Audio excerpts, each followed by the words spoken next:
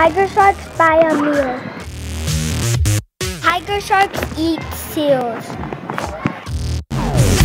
Tiger sharks also can eat small fish. Tiger sharks also can eat small penguins. Tiger sharks have sharp teeth. Tiger sharks live in the sunlit zone and the midnight zone. Sharks can eat different kinds of food. Tiger sharks are scared of big animals. Sometimes tiger sharks are not hungry. Sharks can open their mouths wide.